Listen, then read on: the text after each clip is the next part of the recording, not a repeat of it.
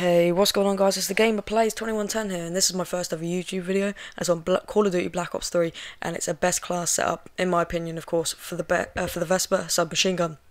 The Vesper is one of the best submachine guns in the game, of course, alongside the VMP. But if you do want to see a, a VMP best class setup, drop a like and subscribe if you're new, and comment, please do, your best uh, class setups down in the comment section, and let's get into the video. So, on the Vesper, we're using four attachments.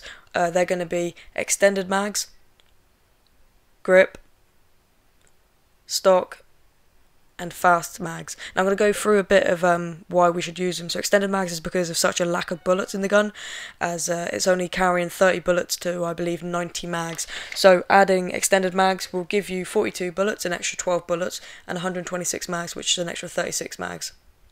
So uh, we're using grip for better accuracy. That's just we're just using it because of better accuracy because the uh, Vesper uh, it tends to it's got a lot of recoil in it so it tends to shoot up a lot.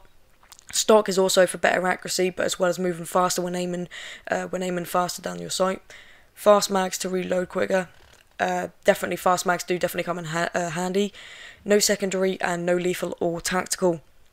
So we're using perk 1 of overclock. You can use uh, any any perk there but I'm going to use overclock simply because you get your specialist weapon quicker Perk 2, we're going to use Fast Hands. Again, you can use any of these perks like Scavenger, etc. But it does help if you run out of ammo shooting someone and you can change to secondary to finish them off.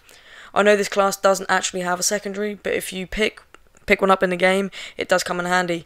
Perk 3, we're going to use Gung Ho, simply because it's easier to help, uh, to hip fire, sorry.